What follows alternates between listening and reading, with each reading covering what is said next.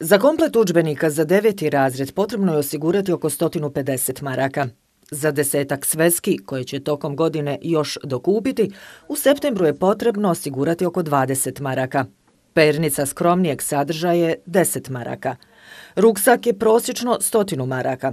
Dakle, za učbenike, sveske, pernicu i ruksak, osnovca završnog razreda, nužno je na početku godine izdvojiti 280 maraka. Problem je što plate nisu u visini onoga što su životne potrebe u Bosni i Hercegovini. Knjige nisu skupe, ali su primanja koja ima većina građana ove zemlje zaista niska. I tu je u stvari problem. Visoke cijene, a i plate, mislim, kod nas definitivno stoje, stoje i ne pomjeraju se, a sve drugo raste.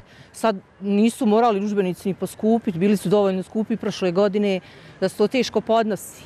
Onda ovamo s jedne strane i da nam je djece i da nam je školaraca, s druge strane ništa se ne poduzima, znači da se pomogne. Roditelji neki koji ne mogu kupiti su u velikom problemu, ali bi trebalo subvencionirati svoj djeci. Znači to nije velik trošak i to je, to je sramota da se to ne uradi odmah. U Tuzlanskom kantonu su osigurani učbenici za učenike od prvog do četvrtog razreda te za socijalno ugrožene u petom, odnosno šestom razredu. Tako će roditelji Prvačića za tri radne sveske izdvojiti po 8 maraka uz dodatnih još 13 maraka za radnu svesku za engleski jezik koja je nešto skuplja od onih za matematiku ili maternji jezik.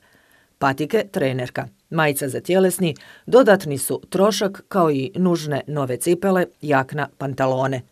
Roditelji to osiguraju koristeći se mogućnošću kupovine na rate, korištenja dozvoljenog minusa i na još razne načine, ali školarci moraju spremni u novom ruhu sa potrebnim učbenicima biti u klupama.